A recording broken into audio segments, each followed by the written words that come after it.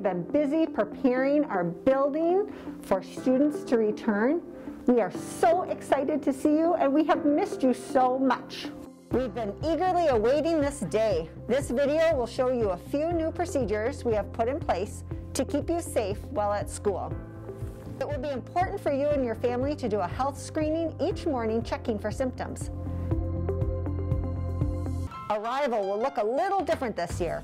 We will only be able to unload one bus at a time to allow for social distancing and traffic flow. Your family will also be asked to follow strict drop-off procedures to keep you safe. When your student arrives at school, they will be met by a Sauk Trail staff member and directed to one of three front doors. They will enter the building and go straight to their classroom where they will be met by their teacher.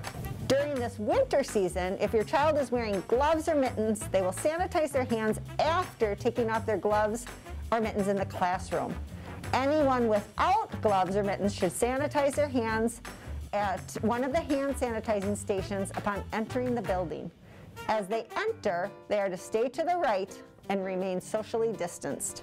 From there, they will walk to a socially distant line to their classroom a good way for students to check if they are far enough apart is to extend their arms, airplane arms, and make sure that there is plenty of space between them and anyone on either side. Depending on your student's classroom, they will either be separated six feet apart via tables or student desks. Students will store their materials near them for easy access and also to minimize contact with others.